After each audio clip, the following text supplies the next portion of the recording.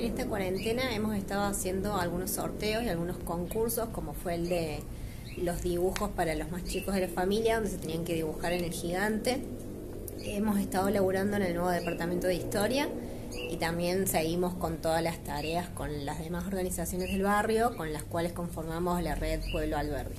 Bueno, es un poco extraño porque si bien estamos trabajando desde casa, quienes trabajamos en el club sentimos que trabajamos en casa eh, y esa es la parte dichosa de poder ir al gigante todas las veces que no puede, ya sea para reuniones o por las actividades. Si bien en el área de cultura activamos bastante en el barrio y particularmente yo voy bastante a la piojera, eh, nos gusta mucho ir al gigante, esa es la parte más dichosa de, estar en el club de ser Belgrano y bueno, es lo que más se extraña en este contexto. Mi nombre es Franco Rizzi del área de cultura de Belgrano. Nosotros trabajamos sobre tres ejes que son la identidad de Belgrano,